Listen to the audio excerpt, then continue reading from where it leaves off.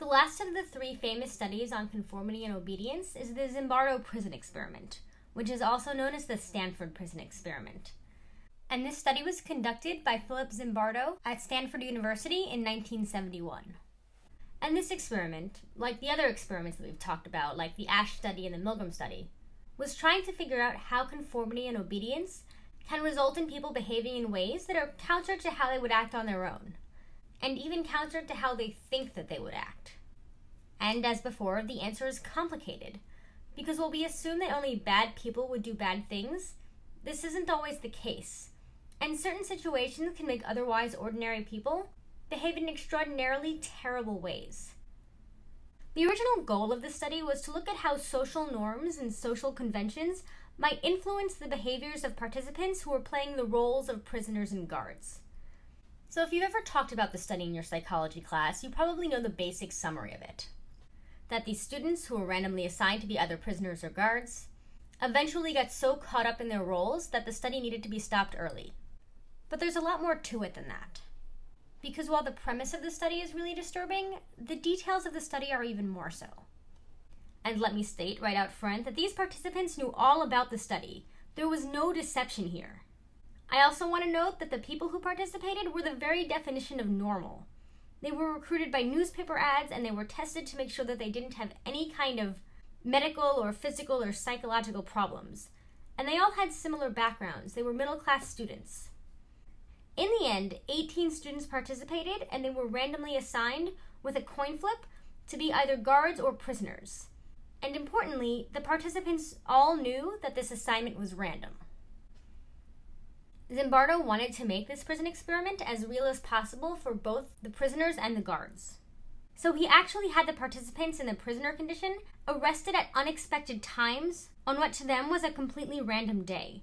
And I don't mean that it was a fake arrest, like with students in fake police hats putting them in the back of their friend's car. I mean actual real arrests by the Palo Alto Police Department, who arrested them and handcuffed them and fingerprinted them booked them, took a mugshot, and put them in an ill fitting prison uniform. And after this, they were brought to the mock prison, which was actually in the basement of the Stanford Psychology Building. Each prisoner was given a number that they were supposed to be referred to instead of their name, and they were given ankle chains to remind them of their prisoner status, and they were put in mock cells. They had mattresses in them, but there weren't any things like windows, and there weren't any clocks. And the idea behind that decision was to try to separate these prisoners from the outside world, to really simulate a prison environment. Zimbardo had also met with the participants playing the guards before the start of the experiment, and he had told them that they were not supposed to physically harm the prisoners. They could, however, try to create a situation that would lead to fear, or loss of privacy and control, or loss of individuality. The guards were also given uniforms, and they were given batons, which were supposed to be for threats of physical violence and not actual physical violence, and also mirrored sunglasses. And they were instructed to refer to the prisoners by their numbers and not by their names. So basically, these guards were basically free to do whatever was necessary in order to maintain law and order, except for physically harm the participants. So, what happened? Well, the first day of the study was pretty uneventful. The prisoners really didn't seem to take it all that seriously, and the guards felt a little bit awkward giving them orders, and so nothing really happened. But then the participants, who were the prisoners, started to get pretty tired of their situation, and so they started to rebel against the guards. And specifically, some of them barricaded themselves in their cell. And at this point, the guards had to decide what to do next. Were they just going to let this go? Or were they going to try to gain control over the situation? And in the end, the guards saw this behavior as an affront to their authority, their fake authority, and they began to fight back. And in response to this, the prisoners tore off their numbers and they cursed at the guards. And at some point, it isn't clear exactly when, the guards started to see the other participants as actual dangerous prisoners that needed controlling. And in response to what they saw was a threat from these prisoners, they used fire extinguishers on them and forced them to strip down.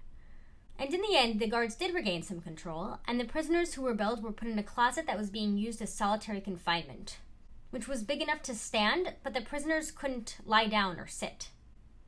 After only 36 hours, the prisoners started to break down. And I mean that pretty literally. One prisoner started showing signs of depression and uncontrollable rage. He screamed and he cried and he yelled obscenities and eventually had to be removed from the experiment. And he might have been the first, but he wasn't the only one who had a mental breakdown.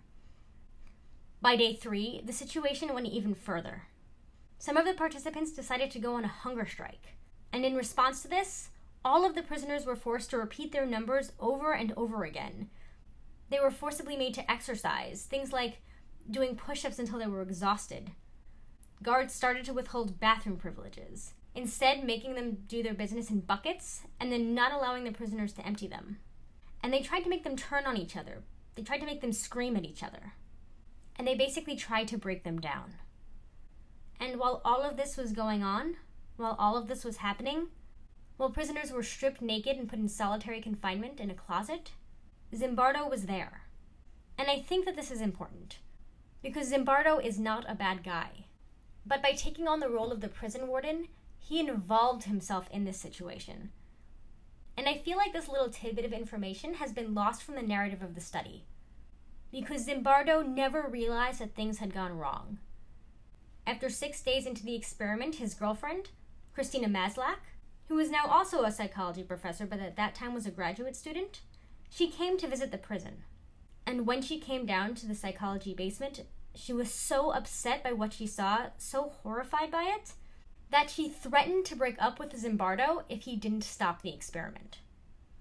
And this act, this outsider who Zimbardo really cared about, coming in and telling him that what was going on was wrong, is what caused him to reevaluate the situation. It's what brought him back to reality. And in the end, he decided to end the study early. By the time this happened, by day six, half of the prisoners had already been released because of severe emotional breakdowns. None of the guards left the study early.